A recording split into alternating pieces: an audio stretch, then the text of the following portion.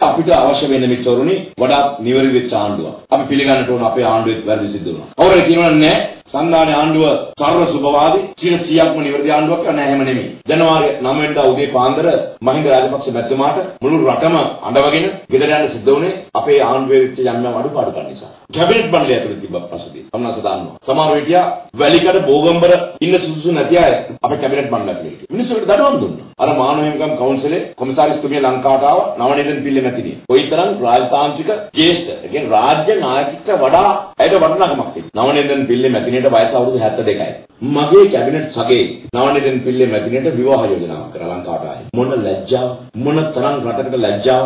UN එක ඇතුලේ ඉන්න මගේ යාළුවා මට කතා කරලා ඇහුවා මේක ශ්‍රී ලංකාවේ සංස්කෘතියේ තියෙන යම්කිසි උත්ප්‍රාසයක් ගෙන දෙන බිහිලුවක්ද කියලා. මෙහෙම වැරදි සිද්ධ වුණා. ඒකට දඬුවම් දුන්නා. ඒ නිසා තමයි මෙතුණු අපි මේ මෙතන ව්‍යාපාරය ජනාධිපතිගේ තේමා පාඩේ උනේ අලුතින්ම පටන් ගනිමු.